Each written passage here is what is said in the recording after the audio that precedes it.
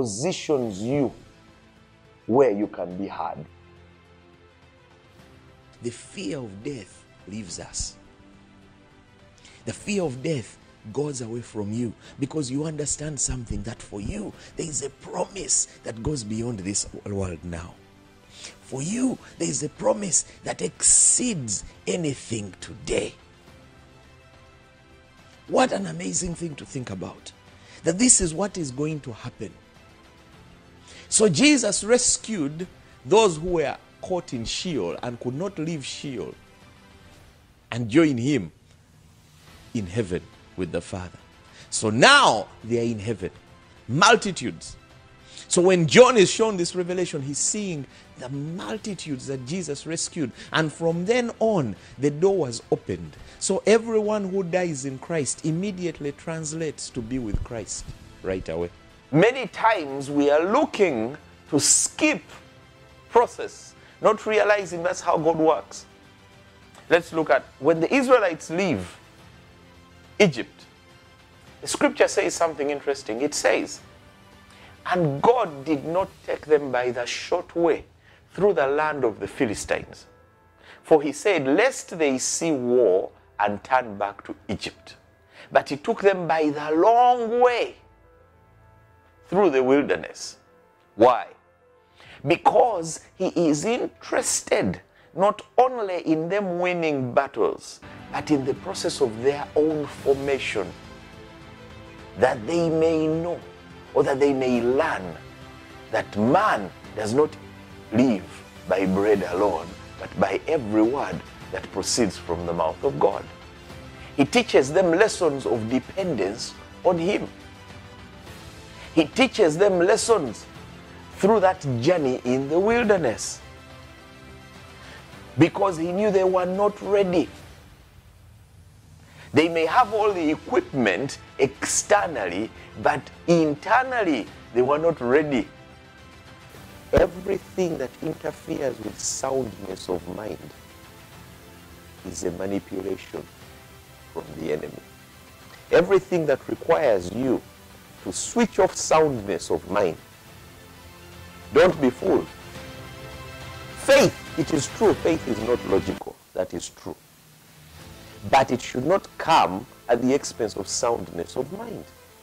Sober minded decision to obey an instruction so it is a faith act. It may not look logical in the natural, but it has not come out of an extreme of emotion. It has from a moment of sound reasoning of saying, I have had him, not because someone stirred up some excitement in us.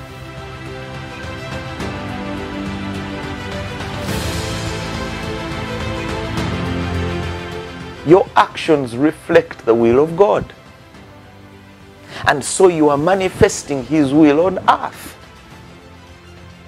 And that's very important to note. You're manifesting the will of God on earth. So, the will of God or the perfect will of God is for you to be able to receive divine guidance. It's for you to have an understanding of His plans and purposes. That's why He says, when people can't see what God is doing, they stumble all over themselves. You, God wants you to be able to see what He's doing.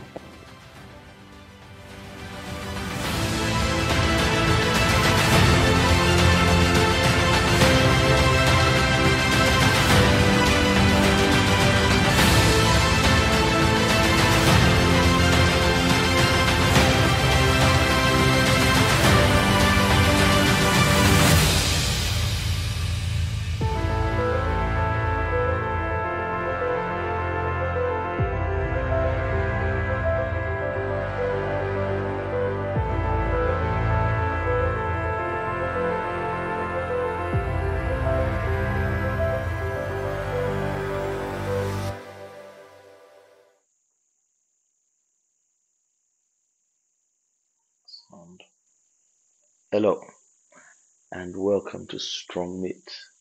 Um, it's always a pleasure and a privilege to come to you. Um, what an amazing thing we have here that God is always teaching us great and mighty things, and we are learning Um, as I've been sharing over the past weeks, um, some years ago, I was in the midst of a 40 day fast. Uh, in fact, I was on the last night of my 40 day fast. And um, I had a dream. In the dream, I saw a book. And in the book, was written the laws of promotion. And then the book opened, and I saw chapter headings. I remember waking up and rushing to my laptop to type out the chapter headings I had seen. I knew for sure that the Lord was speaking to me about a book I needed to write. Of course, um, I had uh, questions. I said, why promotion of all things? Um, I tend to be more focused on other topics for those who hear me preach. I tend to preach on, a, you know, on other topics altogether. So I wondered why, of all things, God would have me teach on promotion. But as life has gone on, as the years have gone on since then, I have seen the need and why God would ask me to speak on this topic and to teach more on it. First of all, um, promotion, the desire for promotion, for elevation is natural. It is a desire God has placed in each of us. Nobody wants to remain stagnant. All of us are always desirous of going to the next level. We're always desirous of increasing, of multiplying. It is a natural desire that God placed in us. In fact, God demands promotion. God demands elevation. The Bible tells us we go from glory to glory, we go from faith to faith. It is a natural thing. It is something that God Himself placed in us. In fact, promotion is such a thing that God placed that God Himself requires profit and increase. Um, when He gives the talents, the one who hides it in the ground and doesn't multiply it, God condemns him. So God requires growth from us. God requires increase from us. God requires elevation from us. Well, here today, as we continue, this is part three um, of our series on promotion. And um, very soon I'll be publishing this book so that as many as possible can have access to this that the Lord showed me, that He taught me concerning promotion. And I know that many lives will be changed. But you, the special people on Strong Meat, um, I felt I should share it with you and um, in a series of messages. And I believe you'll be greatly blessed. Um, I'm, of course, as I'm doing this right now, this is a time for you to send this message. You know, get this link, share it with your friends. Um, send someone a message and say, hey, you really need to hear this. This will bless you. Um, and bless someone, help them. You know, maybe there are errors they're making. Maybe there's a mistake they're about to make that could destroy their life. Or maybe there's something they're not doing that they need to hear that will help them in this journey. So, therefore, um, take a moment, share, invite someone to join us on this program. And I know they will be greatly blessed. I am convinced they will be greatly blessed. Well, um, so we've we've studied. We started with promotion comes from the Lord, and there's no doubt about the question that promotion comes from the Lord. The scriptures are clear. Promotion comes neither from the east, the west, or the south, but it comes from the Lord. Uh, we went into detail about it um, last week.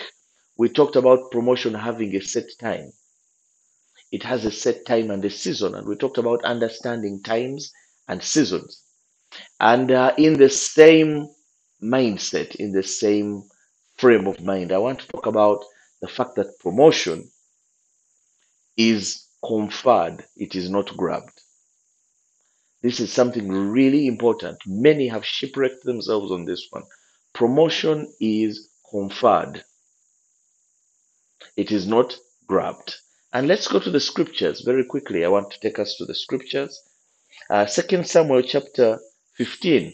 This is a story most of us know, but I want to bring out some things that I pray will be a blessing to you. Um, from verse 1, it says, And it came to pass after this that Absalom prepared him chariots and horses, and fifty men ran before him. And Absalom rose up early and stood beside the way of the gate. And it was so that when any man that had a controversy came to the king for judgment, then Absalom called unto him and said, Of what city are you? And he said, Thy servant is one of the tribes of Israel. And Absalom said unto him, See, thy matters are good and right, but there is no man deputed of the king to hear thee. And Abs- Absalom said, moreover, Oh, that I were made judge in the land, that every man which hath any suit or cause might come unto me, and I would do him justice. It was so that when any man came nigh to him to do him obeisance, he put forth his hand and took him and kissed him. And on this manner did Absalom to all Israel that came to the king for judgment. So Absalom stole the hearts of the men of Israel. So what we see here is a, one of the saddest stories you can read. You see, Absalom was David's eldest son. Not only was he David's eldest son, he was from one of David's favorite wives. David loved Absalom with all his heart. And Absalom was amazing. You see, Absalom, he was um, he had the most beautiful hair. The whole land used to talk about his hair. He was a handsome guy, well-built guy, beautiful hair. He knew how to talk to people. He was literally built for kingship, you could say. So he is Absalom, who, by all rights and means, is entitled to become the next king. I mean, he's the eldest son and he's the most excellent among them, both in stature and wisdom and in the way he conducted himself. The problem is Absalom. Absalom's life was characterized by impatience.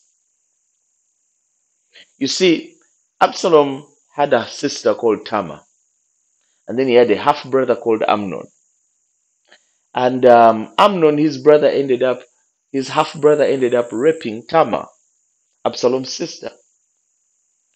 Absalom got impatient with the fact that David seemed not to do anything about the situation.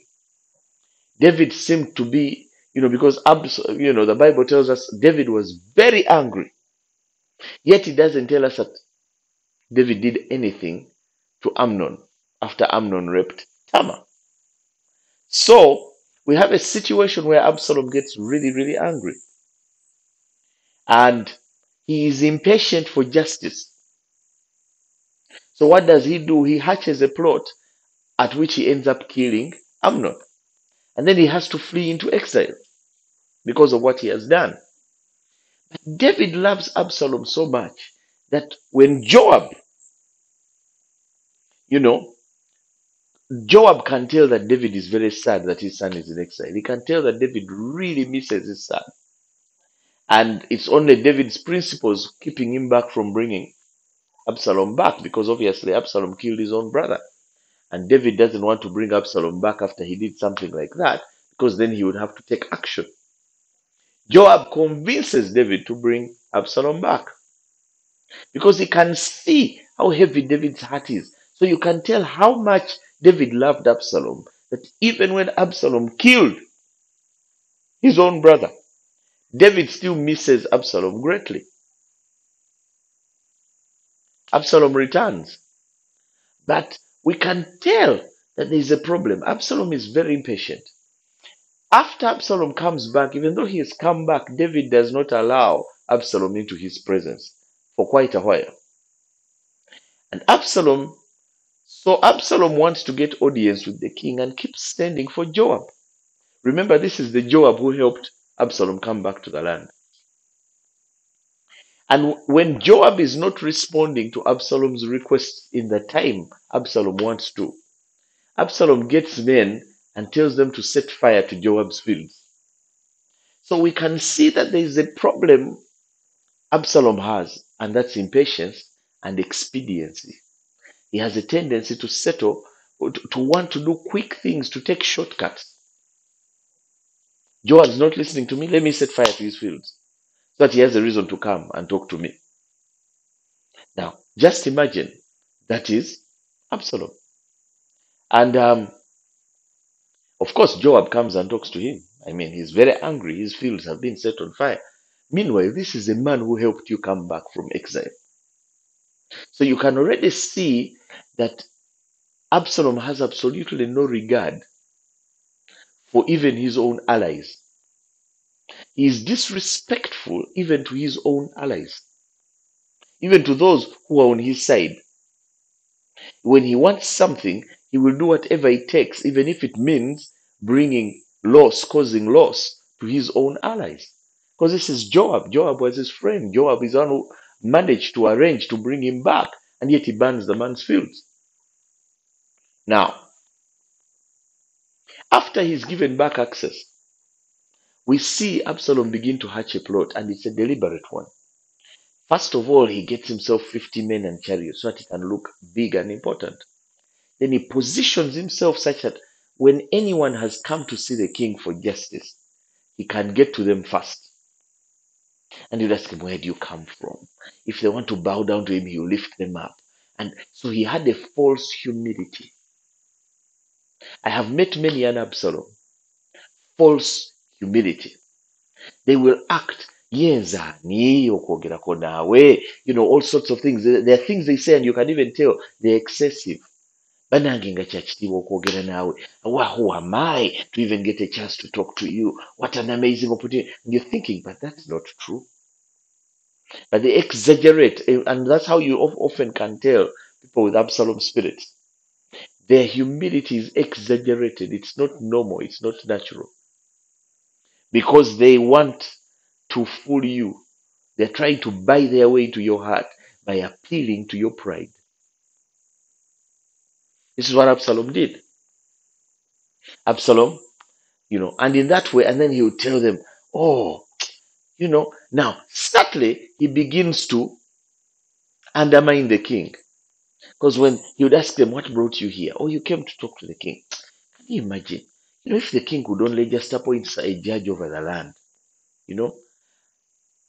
You know I, I could judge these issues so easily you know? And of course you think about it someone has come to the king with an issue and he said the same things to everyone who came to the king which means he would say the same thing if if you were in a land dispute with someone he would say the same thing to each of you. So each of you would be thinking absalom would have ruled in my favor. All he's doing is buying his way into people's hearts. So he makes it feel look like the king is negligent. You know if he had if if he had appointed me i would ex, ex, expedite these issues and deal with them quickly. I would be do i would give justice in your in your favor. So there and it says in this way he stole the heart of israel. It was a deliberate plan. So and you know what's interesting? He was successful. His father ends up having to flee the city and absalom becomes king. But then you see something very interesting. Ultimately absalom failed. And we will see why. Second samuel chapter 17 from verse 14 it says then absalom and all the men of israel said hushai's advice is better than ahithophel's It says for the lord had determined to defeat the counsel of ahithophel which really was the better plan so that he could bring disaster on absalom. What do we see? Because absalom chose to promote himself because absalom chose to raise himself up because he chose to plot to put himself in the position god himself began to resist him. The bible is clear it says god resists the proud god resists the proud. Every time everything absalom was doing was coming out of pride even though he was presenting a false front of humility. There was a false humility but it was all born out of pride. And you can tell it's the same thing lucifer did. Otherwise how do how did he manage to convince a third of the angels to follow him but staying on absalom for right now you've got to understand something. If you fight if you try to grab a promotion instead of waiting on the lord who is the lord of all promotions to confide upon you the lord himself will fight you. The bible says the lord determined to frustrate the counsel of ahithophel. Remember, Ahithophel was so wise in the land of Israel that they said his counsel was like the counsel of God. When he spoke, you knew that this man, the kind of wisdom he's spoken, you, you, you may as well have heard from God. That's how wise Ahithophel was. And now, he, Ahithophel gives advice, says, Give me some men, and I chase after David while he's still tired, and I'll come upon him and destroy him. It was the better plan because David was tired, he was dispirited, depressed. He had to run away from the city unprepared. You know, he, in fact, people had to bring him food. He hadn't planned for it. Ziba had to bring food along the way. You know, Barzillai. You know, there were, there were people who came to help him because it was un, it was unplanned. He just had suddenly, hey, Absalom has taken over. You're in trouble. He's come marching on Jerusalem now, and he fled. In fact, he fled so quickly that he had to leave his own concubines behind, and Absalom ended up sleeping with them. So he was unprepared. Therefore, Ahithophel's counsel was actually the wiser one. But because God had determined to frustrate, when God has determined to frustrate you, you will begin to do stupid things.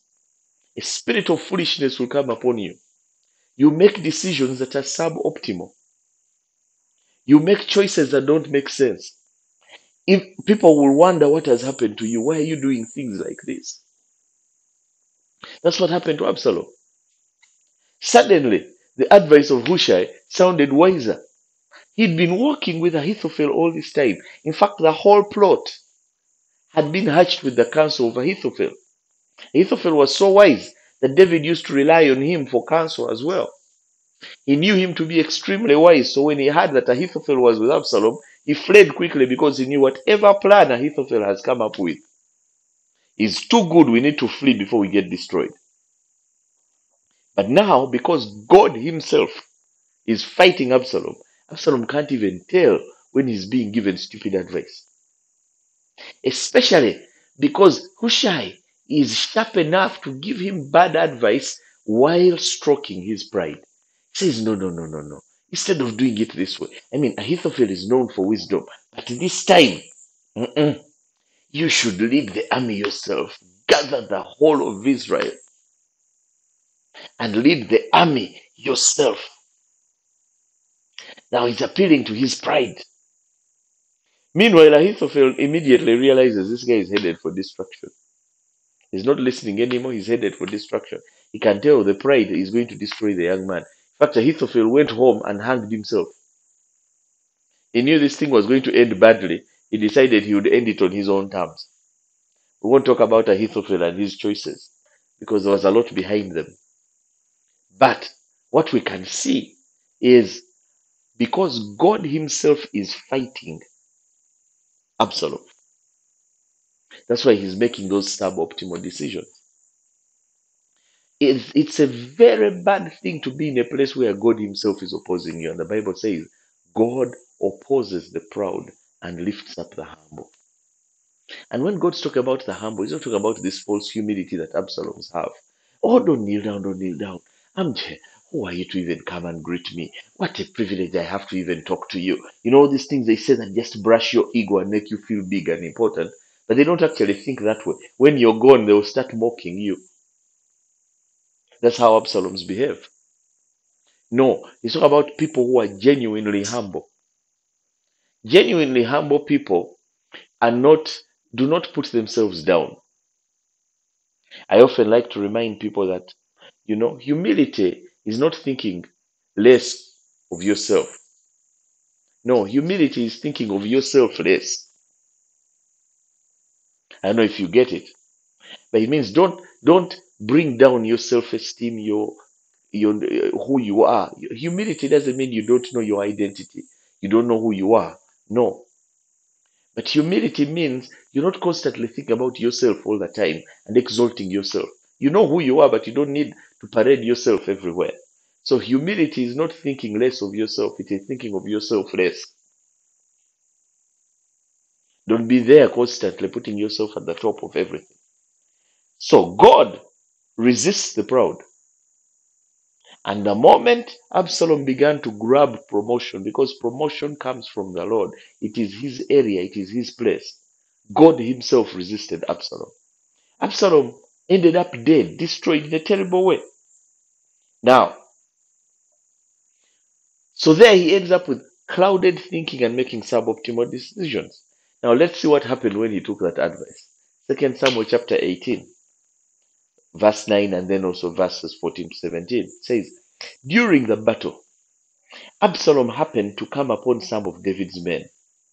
He tried to escape on his mule, but as he rode beneath the thick branches of a great tree, his hair got caught in the tree. The mule kept going and left him dangling in the air. I want you to note something because everything in scripture is there for a reason. It is this little line here about his hair getting caught in the tree that tells us why, in the first place, the scriptures told us about Absalom's hair. How Absalom's hair was so amazing. How the whole of Israel used to marvel at his hair. How it was it was his pride and joy. The scriptures are trying to show us something.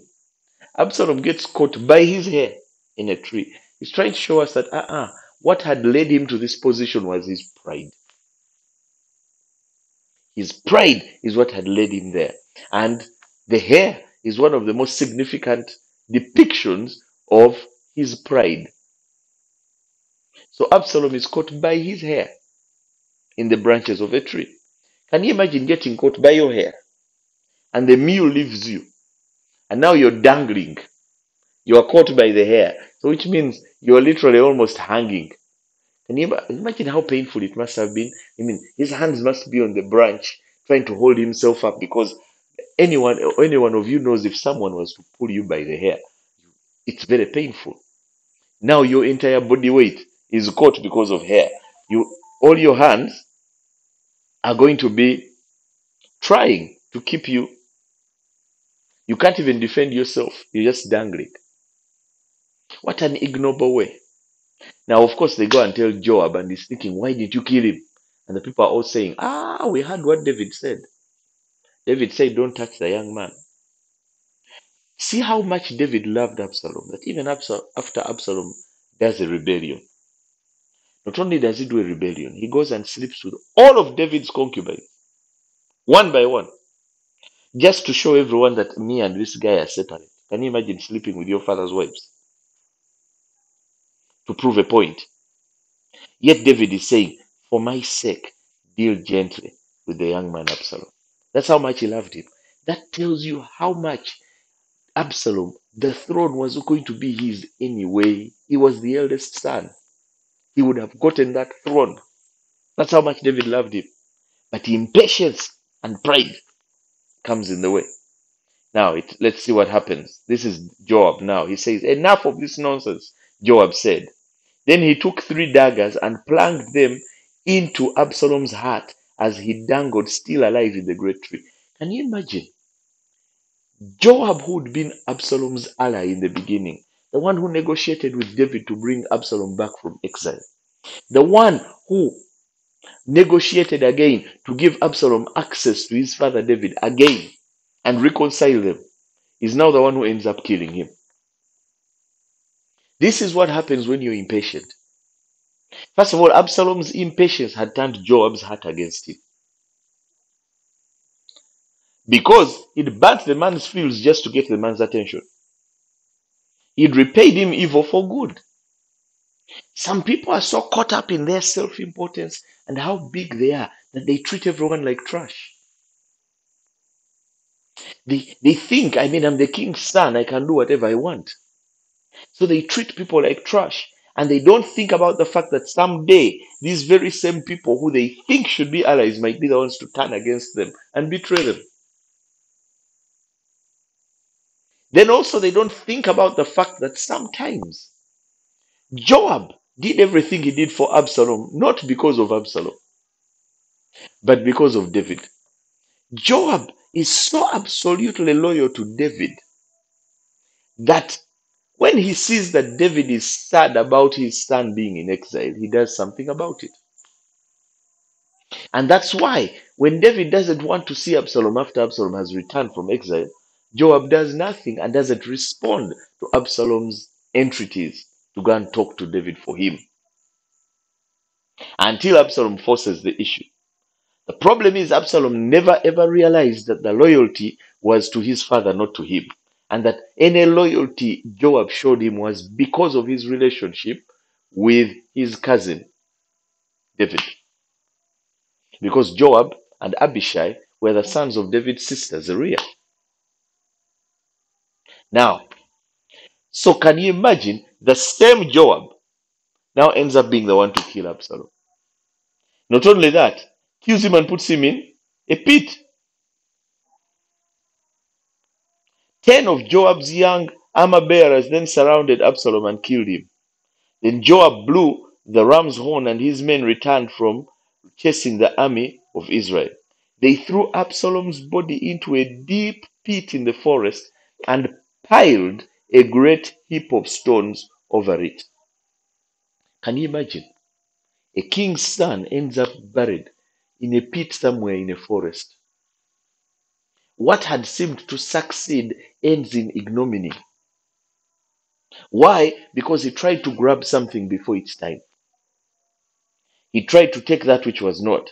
In fact, when you try to grab a promotion that was that is not yours, even the ones who were your friends and advocates before, they will desert you and they will turn against you.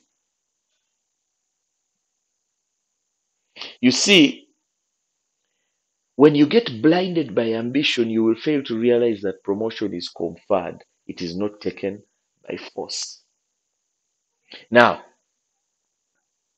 you know, there are many examples here. Adonijah, Absalom's brother, never learned from his brother's example. Years later, Adonijah also rises up. And you know, ironically, Adonijah does the same thing his brother did. He also first gets 50 men and horses and chariots, like his brother Absalom had done. And you know what? Adonijah, Adonijah also ends up dead. And here is the interesting thing Adonijah was next in line after Absalom in terms of age. He had a good chance at the throne. So much so, Adonijah, in fact, you know, you, you think about it that David loved these sons of his so much and favored them so much that for some reason they began to, uh, they grew in pride. Let's see how it says something about David here and how he treated his sons. That he indulged them, he never rebuked them, he never corrected them. Here it is. It says, First Kings chapter 1, from verse 5 to 11. It says, About that time, David's son Adonijah, whose mother was Haggith, began boasting, I will make myself king. You see that? The idea of I will make myself. His father is still alive. Yes, he's very old. He needs a little girl to, to sleep in the bed to keep him warm at night because he can no longer stay warm. Um, but he's still alive. But Dev, but here is Adonijah saying, I will make myself king. Says, so he provided himself with horses and charioteers and recruited 50 men to run in front of him. Same thing his brother Absalom had done. Says, now his father, King David, had never disciplined him at any time, not even by asking, Why are you doing that? So Adonijah had been indulged from when he was young. Whatever he wanted, he got. His father would never discipline him or rebuke him. Says, Adonijah had been born next after Absalom, and he was very handsome. These sons of Haggith, they, they were handsome boys, which probably tells you that Haggith was a very beautiful woman. And they were David's favorite kids, so he indulged them. Now, it says Adonijah took Joab, son of Zeruiah, and Abiathar the priest into his confidence, and they agreed to help him become king. See the problem? he is he is now plotting with the army commanders and one of the priests. It says, But Zadok the priest, Benaiah son of Jehoiada, Nathan the prophet, Shimei, Rei, and David's personal bodyguard refused to support Adonijah. See, there were key people that refused. Nathan the prophet, when he refuses, you, you have to pay attention. When a prophetic voice in the land says, Mm-mm. when a prophetic voice says, uh, uh, uh, wait, hold on, those are warning signs. says, Adonijah went to the stone of Zoheleth, near the spring of En-Rogel, where he sacrificed sheep and cattle and fattened calves. He invited all his brothers, the other sons of King David, and all the royal officials of Judah. But he did not invite Nathan the prophet or Benaiah or the king's bodyguard or his brother Solomon. The fact that he didn't invite Solomon tells you that he was aware that David was planning to make Solomon king instead. Then Nathan went to Bathsheba, Solomon's mother, and asked her, Haven't you heard that Haggith's son Adonijah has made himself king, and our Lord David does, doesn't even know about it? Now let's skip. Of course, well, you know, Bathsheba talks to David and everything. David calls people together and he anoints Solomon king and steps down from the throne. So, verse 41 now there's great celebrating. It says, Adonijah and his guests had the celebrating and shouting just as they were finishing their banquet. When Joab heard the sound of the ram's horn, he asked, What's going on? Why is the city in such an uproar? And while he was still speaking, Jonathan, son of Abiathar the priest, arrived. Come in, Adonijah said to him, For you're a good man, you must have good news. That tells you something interesting about the lack of judgment Adonijah had. He assumed just because a man is good, all the news he carries is good. Now, one thing you notice is Adonijah wakes up and decides to make himself king. His father is still alive. Adonijah could have gone to his father and said, You know what? I want to be king after you. His father could have been clear and told him, You know what? That throne is not for you. God has told me Solomon should be. Or maybe he would have even given it to him. Or maybe he would have told him, I'll make you a co ruler with your brother. There's precedent in Israel for that. But he instead decides to set himself up, sets the banquet, invites the leading army officers. I mean, it's amazing what he does. Big party. All without David even being aware of what was going on. Now, here is the interesting thing. When David takes action and instead raises someone else, you know, Solomon doesn't initially do anything about Adonijah, even after his, his father David has died. But Adonijah does not cease trying to promote himself. The next thing you know, Adonijah decides to go through Solomon's mother to ask for the girl who used to sleep in the bed with David to keep him warm. Says, let them give her to me as a wife. Solomon, of course, realized what this meant. Remember, this is someone who first tried to make himself king. Now he's asking for the one who used to sleep with his father, the king, to become his wife, to increase his legitimacy. So that he has another way of plotting yet again. And Solomon decides he's going to kill him. And Adonijah ends up dead in ignominy like that again. You see, some of the things we miss is this. For example, when the prophet Samuel anointed David to be king, Saul was still king in Israel. In fact, God had clearly said that he was grieved that he had made Saul king. Yet, David was all, uh, in fact, he, you see, here is interesting thing. God said, I'm grieved that I made Saul king. And then he said, I have chosen David to take his place. Yet, David never tried to overthrow Saul in order to take over before his time. Despite the fact that the greatest prophet in the land had come and poured oil on his head and told him, You are the next king. David instead served under Saul. He understood that things happen in correct times and seasons, and that if if God has anointed him to be the next king, then God will be the one to set him up and confide upon him. And we see it. David never made himself king. When Saul had died and David returned to Hebron, it was the people that came and asked David to become their king.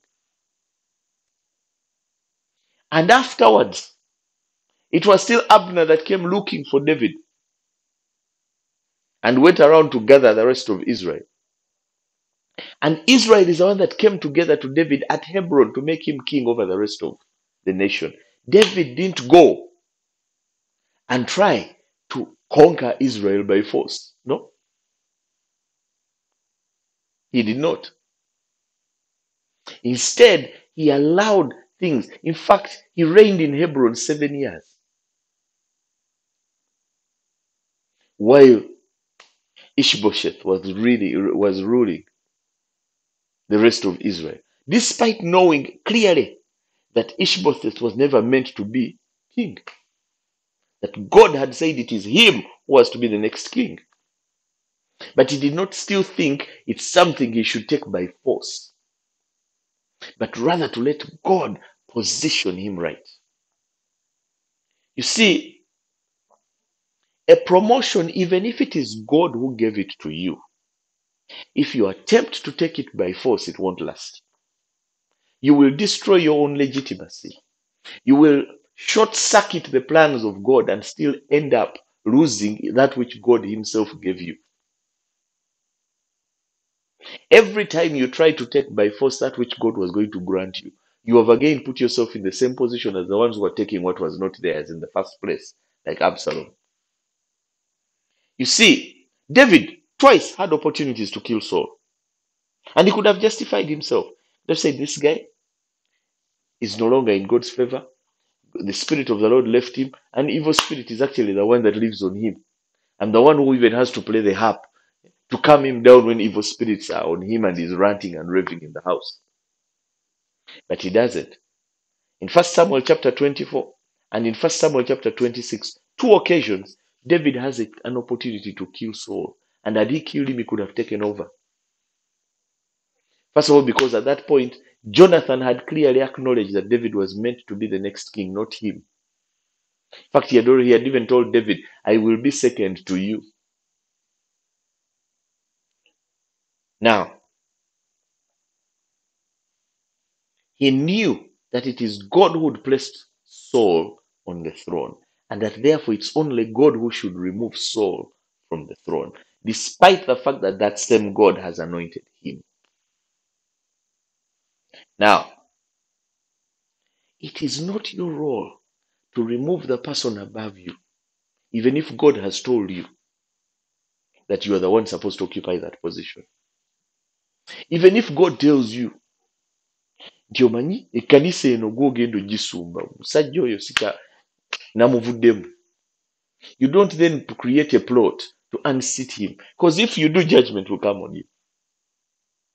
The bible tells us that the one time david sneaked up and cut off a bit of a bit of saul's skirt that his heart smote him. He's conscious. And guess who what happens david was filled with the holy spirit. It was the holy spirit convicting him that even that small act was outside of what he was supposed to do he was supposed to leave god to place him and position him. Don't try to unseat the one above you because you had a word from god. The anointing that placed them there will fight you. You know? Not only that the bible teaches us that what a man sows is what he reaps even if it is god who told you to take a position if you try if you take it by force and plot to take it the bible is clear what a man sows is what he reaps. That seed of rebellion you have sowed is the same seed of rebellion that will come against you later. I'll give you an example. Um, Elijah, when he goes to the mountain after 40 days in the wilderness, he gets to the mountain. There's the wind, the fire, and the earthquake, and the still small voice. God speaks to him. And God gives him instructions. He tells him to anoint Hazael, Hazael, king of Syria. Then he tells him to anoint Jehu, king of Israel. And of course, to anoint Elisha to take his place. Notice a couple of things. Number one, when Elijah comes and puts his cloak upon Elisha, Elisha doesn't assume he has automatically become the next prophet. Instead, he goes and serves Elijah until Elijah is taken up. Only then does he step into Elijah's shoes. Yet God had told Elijah, anoint Elisha to take your place. But here is the other part. God tells Elijah to anoint Jehu, king of Israel. And at some point, you know, Elijah sends a younger prophet. This prophet goes and um, when Jehu is in a meeting of captains, he anoints him to be the next king. Pours oil on his head. Then Jehu made the classic mistake. Jehu then plots to destroy Ahab's entire family. Jehu goes, kills Jezebel. He dis, you know, he he kills Amaziah. Ahaziah actually is the name. Ahaziah, who was um, the, the next the son of of Ahab, and takes over in a military coup. And later you read the scripture saying, "And I will recompense the blood of the house of Ahab upon Jehu." And you think to yourself, "But God, you are the one who appointed Jehu. In fact, you even prophesied how Jezebel shall die. You see, when you take it upon yourself to become the one who executes the prophecies of God and makes them to come to pass, you place yourself in a very dangerous position. Yes, Jehu had been anointed king, but he could have trusted that God will arrange the situation in order to put him there rather than execute a military coup. But instead, he goes and he plots and he kills Ahaziah, and then he comes and he kills Jezebel. Yes, Elijah the prophet had prophesied that the dogs will eat Jezebel, but he hadn't prophesied that Jehu will have to be the one to order her killed. Jehu had the zeal, but he was impatient. And there ends up being judgment upon Jehu because of the seed he sowed. The seed of rebellion he sowed comes back to haunt him. Many of us, that's what happens. God even speaks to you, tells you that's your position. That's where you're meant to be. Then the problem is instead of leaving and trusting it into God's hand, you begin to plot to make it happen for yourself. Such does not last. Jehu's dynasty did not last. Had he been like David and trusted that, okay, God has said I will be, let me see how he works it out. His could have been the dynasty that ends up being running over Israel for the next how many years. But it didn't last because he sowed the wrong seed even in a word that he'd gotten from God. You can short circuit a word God gave you. You can destroy a destiny that God has given you by impatience and trying to grab that which is meant to just be conferred upon you. Don't grab that which should be conferred. Hallelujah. In fact, you can see that David understood this principle seriously. Let's uh, First Samuel chapter 26 after David has spared Saul's life in the cave says, The Lord gives his own reward for doing good and for being loyal. And I refuse to kill you even when the Lord placed you in my power. Who placed him in, in David's power? The Lord himself. Why? It was a test of David's character. Can he trust God to be the one to promote him, or is he going to try and grab it for himself, kill the man, and take the position? It was actually the Lord who placed Saul in David's power. But David understood that this was a test. So he answers says, The Lord gives his own reward for doing good and for being loyal. And I refuse to kill you even when the Lord placed you in my power, for you are the Lord's anointed one. Now may the Lord value my life even as I have valued yours today. May he rescue me from all my troubles. See, David understood the principle of seed. He understood that, okay, if I spare Saul, God will cause someone to spare me. Who knows? If David hadn't spared Saul, maybe Absalom would have succeeded in his rebellion and killed David. God would still have eventually worked it out and put Solomon on the throne. Maybe, you know, they would have fled and then he comes back later and defeats Absalom or something. Those stories are there throughout scripture. But because David had sowed a good seed, he had done good and been loyal even when the one he was being loyal to was trying to kill him.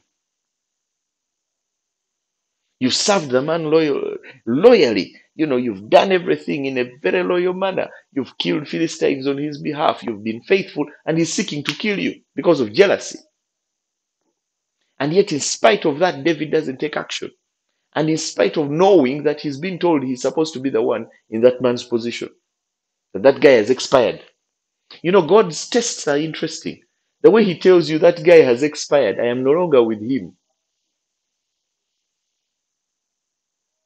And you can get tempted to take the position for yourself. That's a very dangerous place to be. Let's go to Isaiah 42 from verse 12 to 15. We see this same script playing out in way before man was even created. Isaiah 14 says, How art thou fallen from heaven, O Lucifer, son of the morning? How art thou cut down to the ground, which didst weaken the nations? For thou hast said in thine heart, I will ascend into heaven. See, he said in his heart, I will ascend into heaven. I will exalt my throne above the stars of God. Notice he says stars of God, meaning eh, that one is not referring to physical stars, it's talking about the angels, the stars of God. That's why he calls them the stars of God, not the stars of the heavens. I'll exalt my throne above all the other angels, basically. Now, mm, I will sit also upon the mount of the congregation in the sides of the north. You notice that when the scripture says promotion doesn't come from the north, from the east, the west, or the south, it comes from the Lord. It doesn't mention the north. That's because God sits in the north. Hallelujah. In the sides of the north, where God sits, that's where Lucifer wants. He says, I will ascend above the heights of the clouds. I will be like the most high. We always talk about these as the five I wills. I will ascend, I will exalt, I will sit, I will ascend, I will be. The five I wills that led to Lucifer's fall. So I will, I will, I will. His will, not God's will. It says, Yet thou shalt be brought down to hell to the sides of the pit. Lucifer was the son of the morning. That was the highest position in heaven, set just below that of Christ himself. Because Christ is called the morning star. Lucifer is called the son of the morning. So Lucifer held a position just below that of Christ himself. Christ, who is part of the Godhead. He, he was called the angel that covers. He, he used to walk with between the very stones of fire in heaven.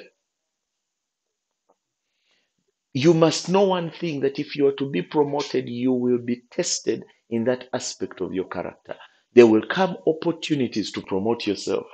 There will come opportunities to exalt yourself. There will come opportunities to place yourself on the throne of the Most High, on the throne of the one you're supposed to replace. And there will also come opportunities where all you need to do is compromise a little.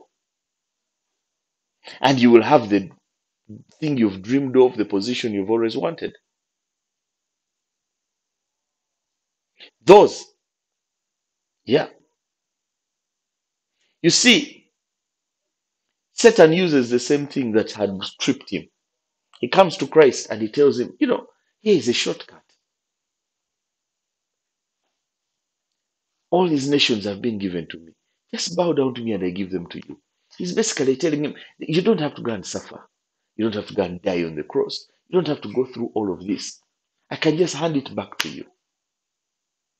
Just bow down and worship. Shortcuts. The enemy will try to bring you shortcuts. You will be tested in this aspect of your character. You see,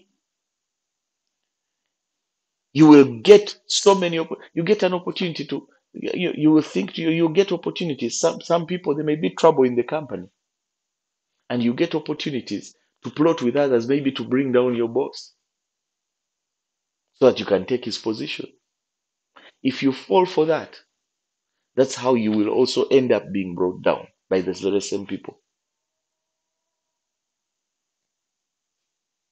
hallelujah i want us to note something when god raised up joseph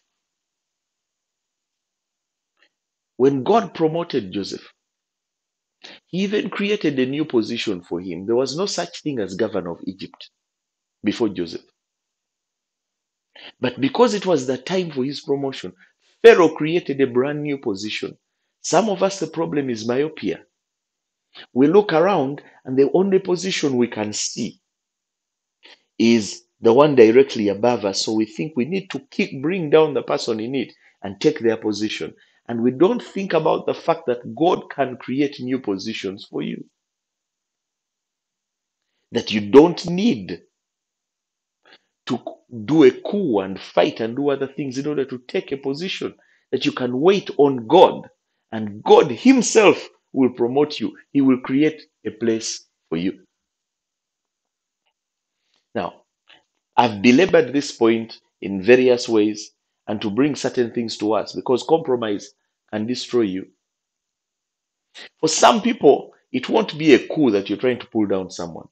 For some of you, the way you try to grab your position may be in compromising. I'll give you an example. I've had opportunities when I got into ministry, full time ministry. I had opportunities to compromise the message. I've had opportunities to compromise the message. I know very well that there are certain things, certain ways you can preach certain messages, certain things you can do that will bring crowds and make you famous very quickly. I'm well aware that I have an anointing. I have seen the blind see, the cripples walk, the deaf hear, you know, tumors disappear. You could prostitute that anointing and quickly become a household name. You could, you know, you could compromise and go to certain places and uh, accept whatever they are saying because you know you, because sometimes there are big doors that can be offered to you, but that only at the expense of compromising the call and what God has put upon your life. And the question is, at what cost? Because such does not last. Inevitably, there comes a time when the bill comes due. It came due for Jehu, it came due for Absalom. It will come due for you. Never think you'll be an exception to the rule.